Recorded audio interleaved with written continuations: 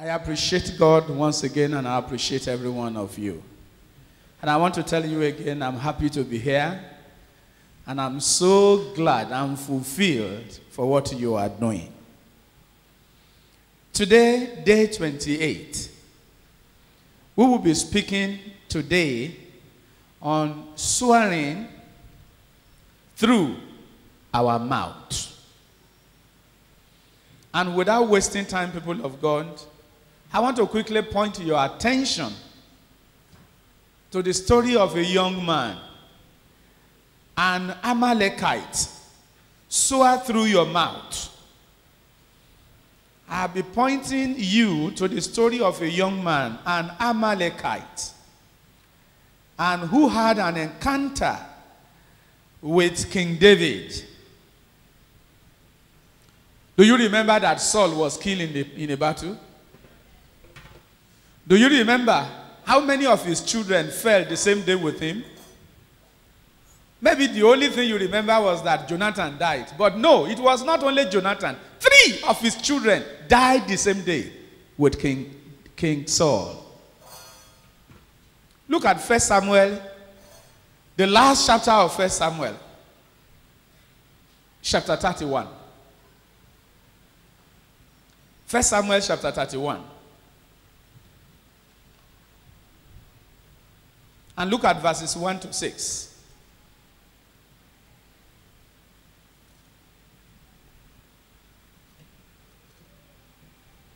Now the Philistines fought against Israel. And the men of Israel fled from before the Philistines and fell down, slain in Mount Gilboa. And the Philistines followed hard upon Saul and his sons. And the Philistines slew Jonathan, number one, Abinadab, number two, and Malchishua, sons of who? Of Saul.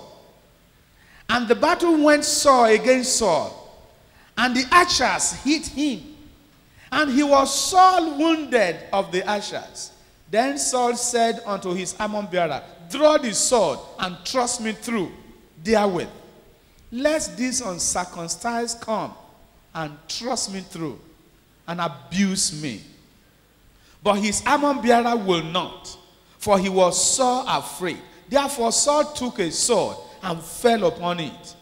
And when his armor bearer saw that Saul was dead, he, that is the armor bearer, fell likewise upon his own sword, and he died with him. Verse 6 So Saul died, and his three sons, and his armor bearer, and all his men that same day together. Just go with me to 2 Samuel chapter 1 and come and see a story of a man. The story of a man. Now it came to pass after the death of Saul, when David was returned from the slaughter of the Amalekites. Do I remind somebody that what was the instruction of, of God to Saul, which made God to remove his glory from Saul? God said, Saul, my king, go before the Amalekites. Every one of them, their city, their children, their cattle, everything to be destroyed. But Saul went there. He destroyed few. He kept the beautiful things. And he kept the king. And he kept the treasure. He kept beautiful cows. Kept beautiful cattle.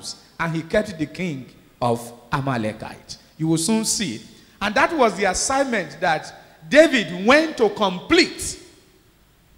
David went to complete the assignment that was given to Saul. You will soon see what God is bringing out in this matter. Right. And David said unto him, sorry, second verse.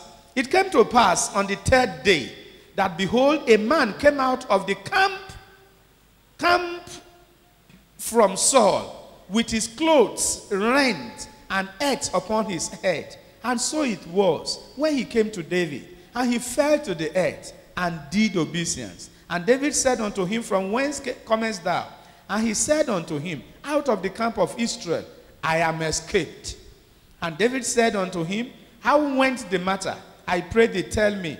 And he answered, That the people are fled from the battle, and many of the people also are fallen and dead. And Saul and Jonathan his son are dead also. And David said unto the young man that told him, How knowest that Saul and Jonathan his son be dead? And the young man that told him said, I happened by chance upon Mount Gilboa. Behold, behold, Saul leaned upon his spear, and lo, the chariots and horsemen follow hard after him. And when he looked behind him, he saw me and called on unto me, and I answered, Here am I. And he said unto me, Who art thou? And I answered him, I am an Amalekite. Did something ring bell in your mind? An Amalekite that God said Saul should wipe out is the same Amalekite that he saw in the battle now. I am an Amalekite. And he said unto me again, Stand, I pray thee, upon me and slay me. For anguish is come upon me, because my life is yet whole in me. So I stood upon him and slew him. Is that correct? Look at verse 16 because I don't want to waste time today. We have so much to do. Look at verse 16. When he told the king David, do you know how many years Saul has been waging war against David? Do you know how many times he has tried to kill David? And so that Amalekite of a, of a boy thought that he was coming for favor before David. And he said, I have killed the king. He thought that the man was going to celebrate that I have killed your enemy. Look at verse 16. And David said unto him, Thy blood be upon thy head.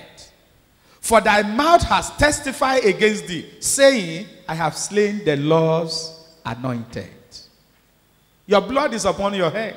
And what did he say immediately? He said they should fall on him because whoever killed by the sword we equally by the sword. But this man, his mouth did not say the correct thing. That is what we want to establish this evening. A story is told in 2 Samuel chapter 1, verses 1 to 16, which I just gave you the account of the death of King Saul and Jonathan his son and two other sons. And Amalekite went to tell King David that he killed King Saul and brought the crown. He brought the crown on the head of Saul and the bracelet. You know what they call bracelet? This thing that is in the arm. He brought them from Saul to King David. Verse 16, the, the, the King David now said, Thy blood be upon thy head, for thy mouth has testified against thee, saying, I have slain the Lord's anointed. Yeah. The correct story which I told you first, was that Saul kill, killed himself since he already sustained injury and he died. And he died with Jonathan, he died with Abinadab, and he died with Malchishua, all three sons of Saul.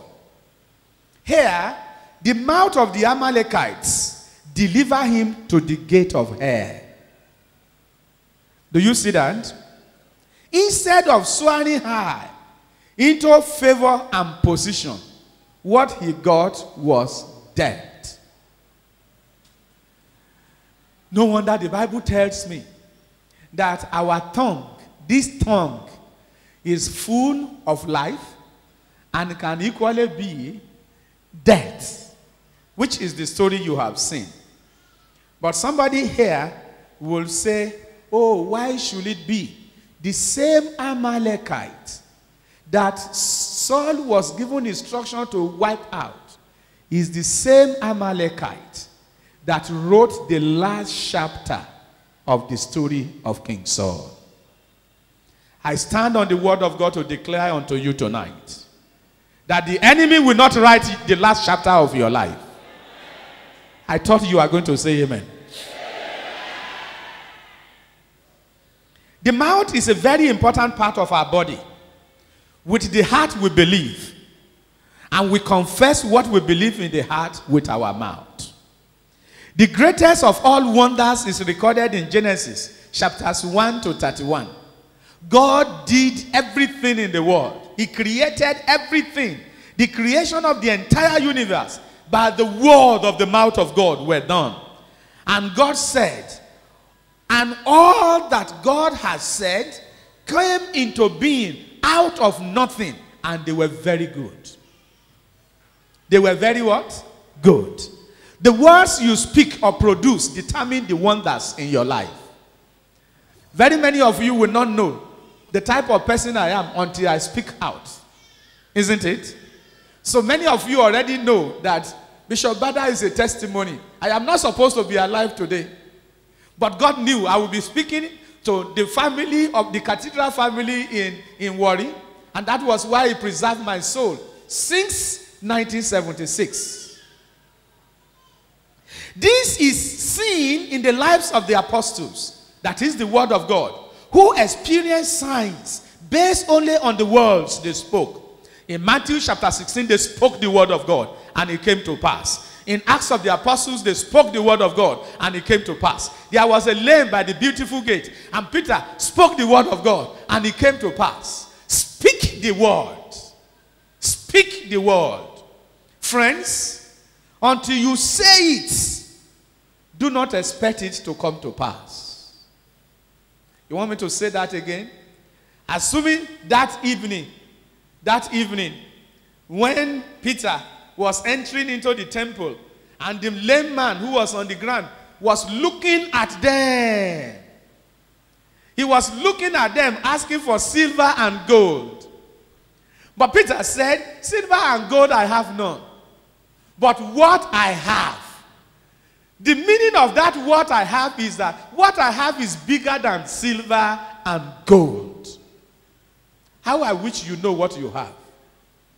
What you have is bigger, is better than silver and gold. He said, In the name, what I have is the name of the Almighty God. In the name of Jesus of Nazareth, who I serve, you name, get up and walk. Did the Bible recorded that he touched the man? But the word of God, the unction of the Holy Spirit, the power of God for the gospel of Christ is the power unto salvation. The word of God healed the man, and the man got up. Assuming the disciples, the apostles did not say it, will the man get up? But because they said it, God honored it. My brothers and sisters, as terrible as death poses to be, it also responds to the command of your word. It responds to the command of your mouth. Look at Proverbs chapter 18, verse 21. Let somebody read it quickly. Proverbs 18, 21. Are you there? Proverbs 18, 21. Yes, sir. Death and life are in the power of the tongue. Yes, sir. Oh, and they that love it shall eat the fruit thereof. The death, the, the, the power, death and life are in the power of tongue. Those who love it, those who love life, will have life. And you will confess it and you will have it. You confess it, you have it. The challenges of life can be subdued by the sand. What I mean by the sand is by the word. It is your instrument of command. The word in your mouth is your instrument of command. The word in your mouth is your instrument of command. I have seen somebody before, you know the person I'm talking about, who the, the prophet came to him and said, Look, you have been ill of boil. And God said, I should go and tell you that you will not get out of this bed until you died. What happened next? What happened next? He turned his face to the wall and said, No, I will die no death. No, God, I won't die. God, change it. I will not die. What happened next? They changed the date of his death. Do you see that in the Bible? Do you think the same God that changed that dead is still alive? Do you think he can do it for you as well? Claim it and it is yours in the name of Jesus. The power of life and death is in the, is in the tongue. The tongue, your, your word is your instrument of command. I will be reminding you. Your word is your instrument of command. The instrument of command. How do you speak to God except you speak out? How do you? That is the problem I have with the Anglican Church, people of God. I don't love people to say it is silent prayer. When I was young in the cathedral, I'm from Ikare in Ondo State. We had an old archdeacon, Papa Olowo Meye. Papa Olowo Meye was so old, so on the prayer desk, he normally give out these long versicles and responses. He will give out to the lay reader. And anytime the lay reader is doing that, Papa will leave the prayer desk, he will go to the altar. Once he places his head on the desk, he sleeps off. We knew that because in, when I was in primary four, I was in the choir. So as soon as we want to say the grace, we will always say the grace in unison. Somebody will quickly go to the altar to go and wake him. Papa, we are true. At Shetan. Yes. So he will now wipe his face and say, Oh, so you are true so soon? Please, since the days of John the Baptist, the kingdom of God suffered violence. And violence has taken it by force. Let me tell you the program of Satan. Anybody that comes into the world, anybody that comes into the world, the day you are coming into the world, there is a program of God for your life. There is a purpose for your life. There is a reason why you were made. There is a reason why you were sent to where you are going. There is a reason for your training. There is a purpose for your training. There is a reason for every step you take. But Satan will always want to counter it so that you don't get to your throne. Are you listening to me? The assignment of Satan is to block the people of God not to get to their throne. And that is the work of Satan. And I stand on the word of God to say to you tonight either Satan likes it or not, either his agents likes it or not, you will be celebrated. I say you will get to your throne. If there are people that all over the world, I am not talking of somebody that is celebrated in Warri. no. I am not talking of somebody celebrated in Delta State, no. I am saying that if you are already being celebrated nationally, you will go international in the name of Jesus. Hey, if you don't rebuke Satan, how will he flee from you? I have seen Christians who I call ordinary lightweight Christians. Lightweight Christians are those who operate in little faith level. And they play with Satan. Oh, Satan, leave me now. And Satan will say, I want to play with you a little. Leave me now. I want to play with you a little. No, Satan does not understand the language of pleading. No. The language Satan understands, according to the word of God and in practice, is when you open up your eye. You rebuke Satan, and Satan will flee. Even Jesus needed to rebuke Satan. Even Jesus needed to do that. Do you keep quiet when you want to rebuke? Are you gentle when you want to rebuke? Do you rebuke? Or do you do you look gentle when you are rebuking? How many people will look gentle? Oh, he's a gentleman in the battlefront. We are in battle, my brothers and sisters. And we have to be who we are supposed to be to win the battle. Instrument of command, that is the word of your mouth, is an instrument of winning your battle. And I except you know it, my sister, except you know it, the words you speak are destiny molders. You can give shape and color to your life by the sound you produce. Victory or defeat, the power of life and death lies in the tongue.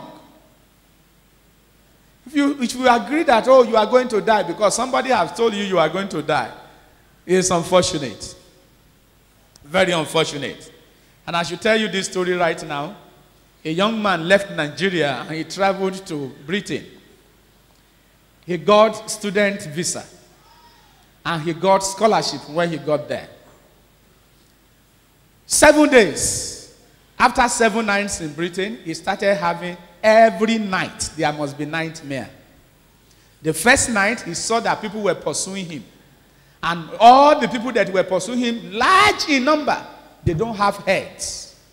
You cannot see their head. If you don't see the head of somebody, how do you how do you recognize the person? They were pursuing him. Instead of getting up to, to, to pray and intercede, he got up, he took his diary, and he wrote it down. The next night, those that were pursuing him yesterday, they now turned to masquerades. Different types of masquerades from Nigeria, they were now pursuing him.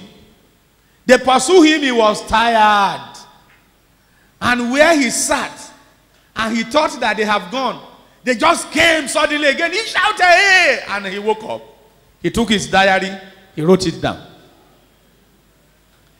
The third, day, the third night, those who were pursuing him, they now came in their real color and sense. This time he was able to identify them. He saw the old woman in his father's house. He saw others around their compound. He woke up, he wrote it down. The fifth day, they brought a casket. He saw the casket and he was afraid. He woke up, he wrote it down. The sixth day, they banded him. They banded him together as if the way they band and tie a corpse and they put him in the casket. When they wanted to now nail the thing, he suddenly woke up. He, he woke up, he wrote it down in his diary. Finally, the seventh night, they came and they sealed the whole thing.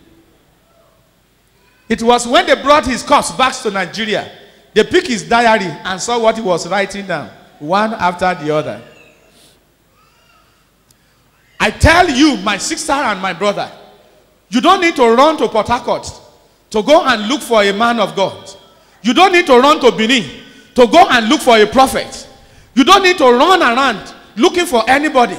I tell you, if you come before the altar of God and you cry unto him, he said, When you open up your mouth and you call upon me, I will answer you. How many people have called upon him?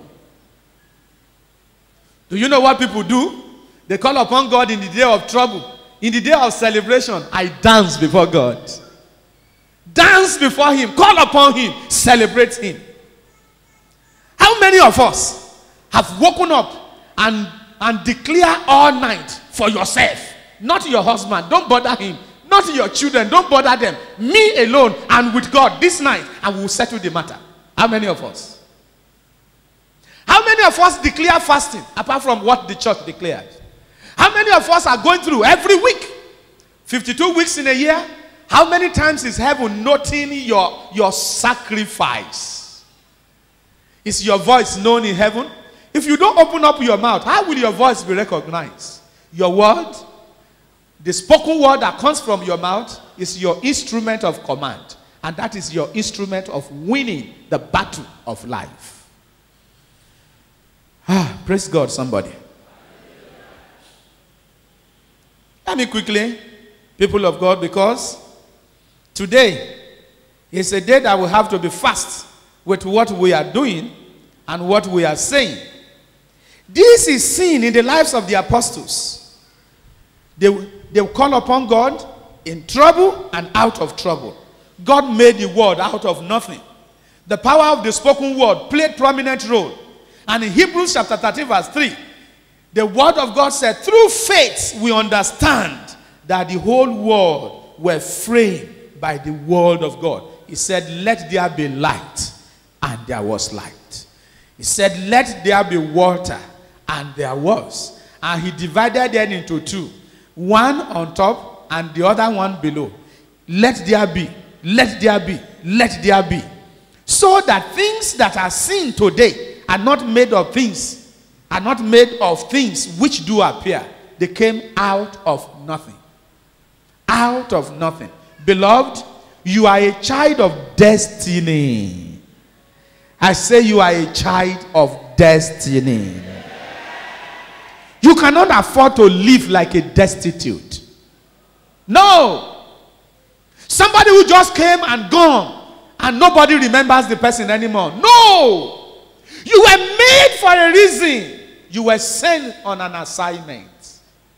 The assignment is a sacred one. No power, no force in this world will block you out from carrying out the assignment of God in the name of Jesus. Speak good words. Tell your neighbor, speak good words. Because God not only watches over his word to perform it, but also confirms the words you speak. Speak good words. Speak good words. Speak. Speak. There was a lady who was speaking in the altar. Even the high priest said, Oh, woman, when will you leave this your drinking? I am talking of Hannah. That was a day that Hannah said, Today this matter is settled. It was a day Hannah said, Enough is enough. He went to the altar and he heard it was like somebody holding the leg of God. Today, my name must be removed from the list of barren women. Today, and the woman opened up. The woman, it, was it a silent prayer? It was not. Speak to God. Speak to heavens. Let your voice be known in heaven. Let them know that, oh, my son has not prayed this morning. My, my daughter has not prayed this morning. Because the moment you wake up, my grandmother told me that before you speak to anybody at all, when she wakes up, if anybody is coming around or somebody has come to to wake her up, to wake her up, my grandmother will say, You know the meaning of that? I have not spoken to heaven.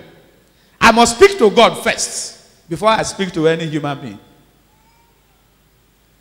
You speak first to God.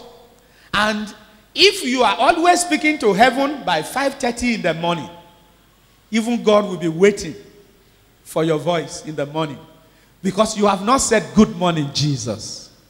And do you know when you operate in the realm of the spirit and anytime you speak unto God, particularly those of us who first celebrate God and give thanks unto him. Anytime I'm reading through Psalm 18, I look at the level that David was operating. I love you, O God, my God. You are my helper. You are my comforter. You are my, my rock, my foundation. And he praises the name of the Lord. And the more you praise God, the bigger the head of God gets swell. And it is as if God is asking you, Tell me, my son, what do you want me to do this day? Tell me, my daughter, what do you want me to do this day? But you wake up, you have not spoken unto God. Why do you speak unto man? Let your voice be known in heaven. It is what you speak. You speak good things. I am aware that many of us do excessive joke. Joke that must not be done. Excessive joke that should not be heard from the mouth of a Christian. Because out of the abundance of one's heart, the mouth speaketh. You cannot speak what is not coming from your heart. And if your heart is filled with the word of God, if your heart is filled and overflowing with the message and the oracle of God, you will be speaking the word of God from your mouth. If something suddenly happened, whose name will you mention? Now, some people will mention the name of their late father and their late grand, grandmother.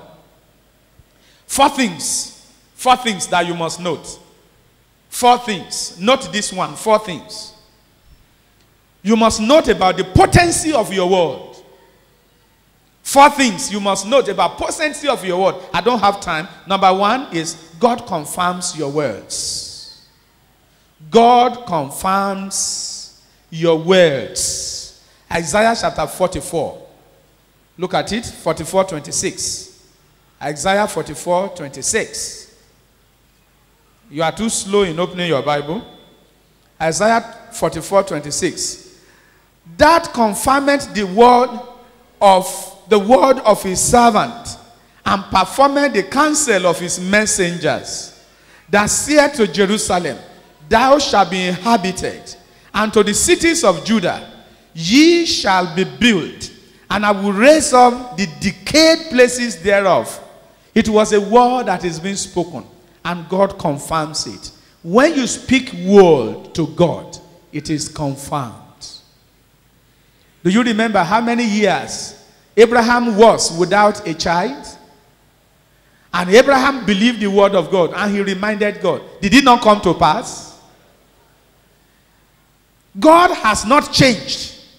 And he will and he will not change. He will do that which he has promised. God confirms your words. That is number one. Number two, your word put the angels to work. The moment you speak it, it puts the angel to work. Ecclesiastes chapter 5, verse 6. Ecclesiastes chapter 5, verse 6. Quickly, who is reading it for me? Your word put the angels to work. Yes. Aha. Aha. The angels carry out your words, whether positive. Aha. Good. Let your mouth speak what is not correct, and what you speak and you will not do. The angels of God, the moment you speak it, they work it out. How many of you know that there are angels that are assigned to you? Do you know that angels are assigned to you? How do you know? Do you see them? You don't see them. Do they speak to you? But how do you know? Because you know. Because you were told. Apart from telling you, has any one of you, maybe in the afternoon or in the night, it happened that you are alone and you seems to be afraid? And maybe those of you who work in the farm in the afternoon, and at times it looks as if somebody is following you. You look back and you cannot see the person. Has it happened to any of you before? Maybe you are alone in the house. In the whole house, you are alone. And you came downstairs to lock the central door. And you are climbing up. It looks as if somebody is following you. And you look back, there is nobody. Heaven, as before you came into the world, there were angels that were assigned to you to keep you. One moving ahead of you, one coming behind you. When Jesus was talking, and he was quoting Psalm 91, when Satan was tempting him, and they said, they took him to the pinnacle of the temple and said, Jump down. Before, because it is written that the angels of the Lord, we, we hold you they mean the angels that were designed to be his guide and be his protector. If you don't know it before, know it today. That the presence of the Lord, represented by the angels of God, they go ahead of you and they come behind you. You are well secured. I say you are well secured. Now, quickly, Number three. Sorry, let me finish this number. Angels will turn on when you speak words of uncommon faith. When you speak words of uncommon faith. And I want to remind you, there was a situation in Daniel chapter 3. You still remember Meshach? You remember Shadrach? You remember Abednego? And the king said they should bow. And the children said, We are not going to bow down to you. He said, I'm going to kill you. They said, even if we die, even if the God we serve did not come down to save us, still we will not bow down.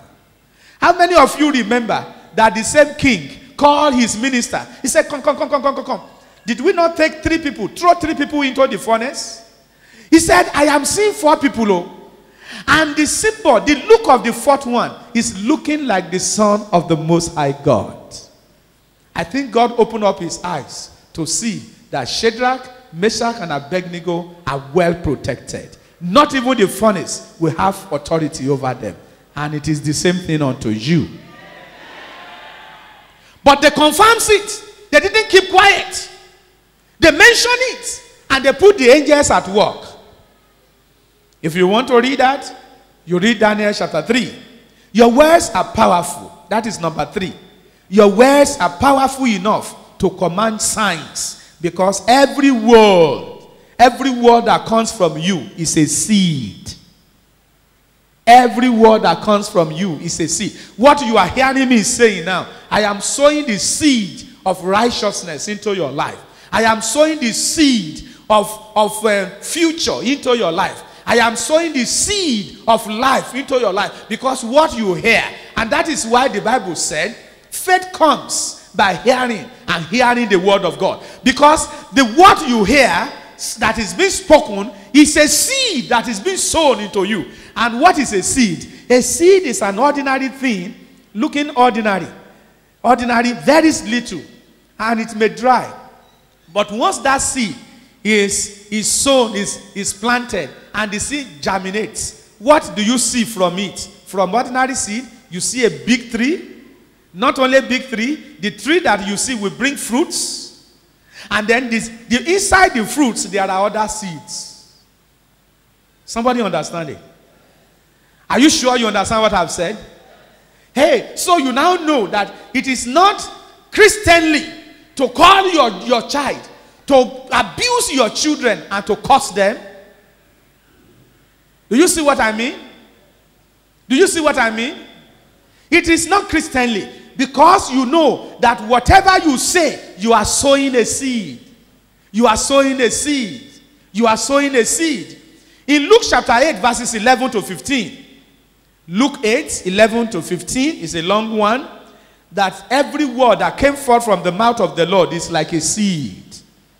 And the word of God is seed. As a true child of God, therefore, your words are also seeds. Luke 8, 11 to 15. But you can read this with me. Psalm 80, 82, verse 6. Read Psalm 82, verse 6. What did he say? Psalm 82, verse 6. Where's my brother? I said, Ye are gods. Who are the ye that God is referring to? You. The you are gods that are there is a small g. Look at it in your Bible. It's a small g. Yes, go on. We all are sons. Don't tell me you are a daughter. You hear me? Don't tell me you are a daughter. God does not recognize what you are saying that, oh, this is a male, this is a female. For unto us, a son, a, a child is what? A son is given. A son is given. If you go to court and you see the very senior magistrates it is not her worship. It is his worship. It is patterned after the program of God in the Bible. Most of the laws you see are from the Bible. So, God has given a son. What is the meaning of a son that is given? That is a seed that is sown with a destiny. A seed that is sown with a destiny. And I say you will all get to your destiny in the name of Jesus. Since whatever a man sows is what he reaps, the things you say are what will happen to you. So begin to say exactly what you want to see. Do you hear me now? You begin to say exactly what you want to see. Because until you say it, you won't see it. Until you say it, you will not see it. Begin to say, because whatever you say, you are sowing the seed. Begin to say, what I saw a man, he has three children, and all the three children, he called them by the name of the profession he wants them to be. there is number one that he called a doctor. There is a professor among them, another one is a medical doctor, and the third one is an architect. And so he called them, even when they were small as babies, he was calling them. That is exactly what it is. And that is what it should be. Praise God. Number four, your words give control over all opposition. What do I mean by that? Your word gives control over all opposition. Every Christian that closes their mouth is always a victim of oppression. Every Christian that closes their mouth is a victim of oppression. If you do not rebuke Satan, will he flee from you? If you must enjoy the supernatural blessings, we are rounding up now. If you must enjoy the supernatural blessings, because your root is supernatural. How many of you know when you were coming to the world? I told somebody that if God told me, if I was consulted, that, oh, you man, I am sending you to the world, I would tell God I don't want to be born in Africa. I would not want to be born in Africa, but I was not consulted. I was born in the world. I saw myself in the world. But do you know what I know? I know that I am not here by accident. And if I am not here by accident, it means there is an unseen power that brought me into the world. And this unseen power has said that I will not forsake you, nor fail you. And repeatedly he said it. He said it repeatedly. He said it repeatedly. Have I not told you that I will not fail you nor forsake you? Have I not told you to be strong and brace up?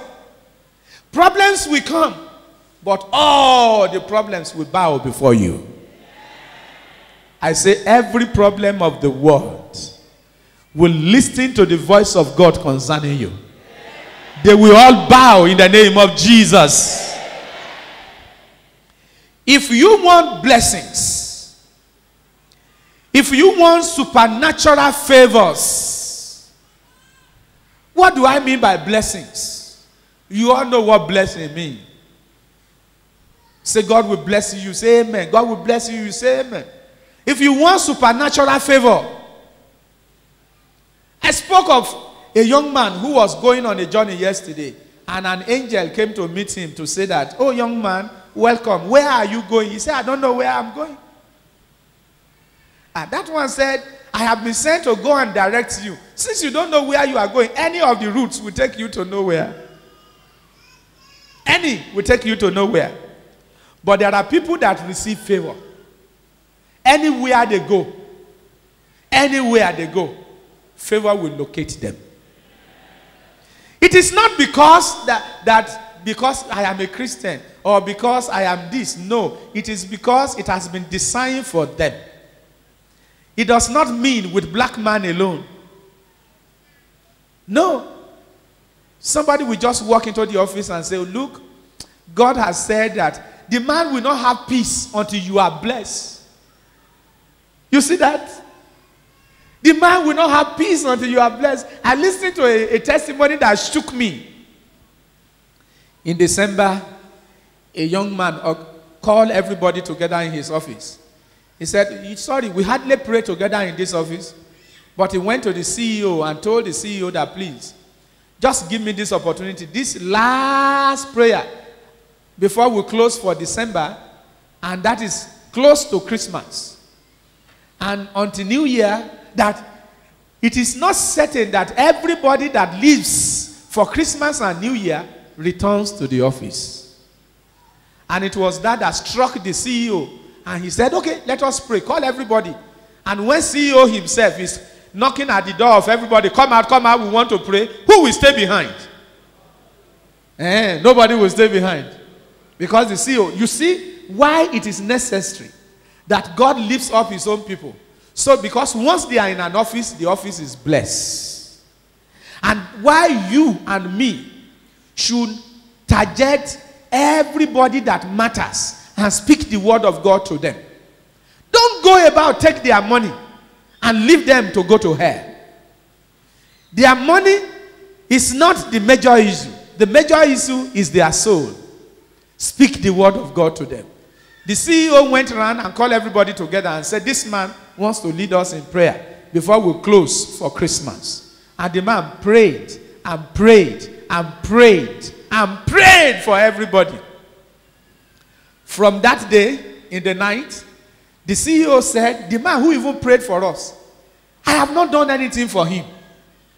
And asked me, What was the level of the man in the office? He was only a messenger.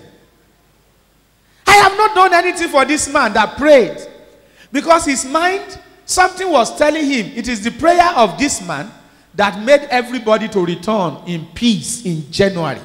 Because so many people that left their offices for the village and for the new year and Christmas, many of them do not return. Many died in accident, and so many. And he called the man in the office. In the morning when he came and that one took the bag and cleaned the office, and he said, Oga, do you mind if we pray together? I will, I will be brief, just small. I said, I thank God for you, for the life of my Oga. I thank God for the establishment. God, we invite the Holy Spirit. This office, this day, the Holy Spirit will rule and we soak everywhere with the blood of Jesus. We take power out of the hand of forces of darkness. The man said, Amen. And the man sat down, and the Holy Spirit reminded him again, I have still not done anything for this man. The man was staying in Ikeja area before the company finished the official house for the CEO in Ikoyi. And the house that the man was staying in Ikeja is empty.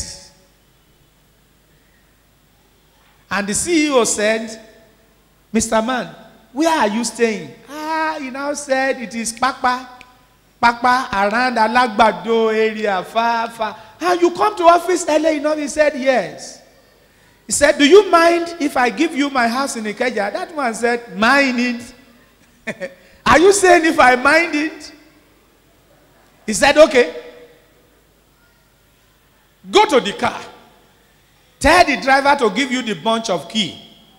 And he brought the bunch of key from the car. And he said, Okay, this is a bunch of key. He said, The house that I parked out from in Ikeja today belongs to you. The man said, It is as if I don't hear you. Am I dreaming? Me, up to this morning, a tenant, and then my identity changed. When I mention supernatural favor, you must begin to understand what I'm saying. And the man went to the house through through. Do you know the the furniture in the house, the bed, the seat that was meant for CEO before? Because CEO was moving, they carry all the furnitures from there and took it to another officer. So the house was just a house without furniture. Even the furniture alone, that man cannot afford it. Cannot afford furniture. So he came the next day and said, Oga, I don't just know what to say. I don't know how to thank you. That one said, when he finished the prayers for the second day, he said, Sorry, I, I remember in the night that there were no furniture in the house. I said, No, I don't even bother about it. He said, No, no, no, no, no, no, just hold it. In the new house that I have moved to, the furniture there, I don't like it. The curtains, the this, this, this, this. So, do you mind if we carry the furniture from Ikoyi?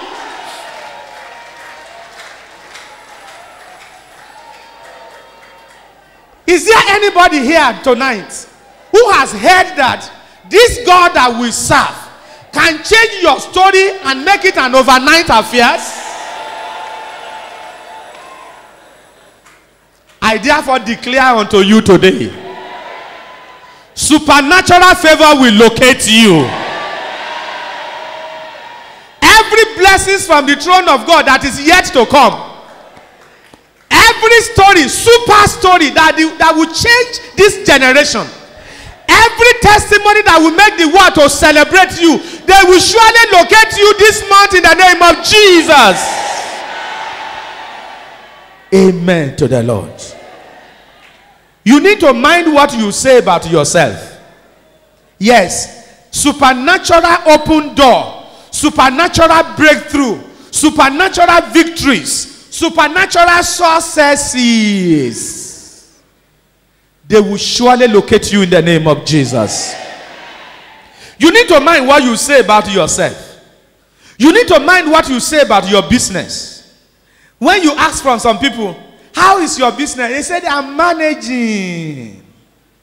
I am managing. If you say you are managing, the person did not finish the thing. It is equal to say, you are not only managing, you are passionate, is leaking, you are passionate, is leaking. When they say, How's your business? Oh, I praise God. Is it different? Is it different from the first one? So when this, how's your business? Oh, I praise God. How's your husband? Oh, I give God all the glory. The man is the reason for my existence. How are your children? Wonderful. We are waiting. I am waiting to call you to come and celebrate with me over my children. That is different from how are your children? Mm, don't mind them. Don't mind them. Just forget about the children. The confession of your mouth. Because out of the abundance of one's heart, the mouth speaketh. The mouth speaketh. Until you change your tactics, until you change the words of your mouth.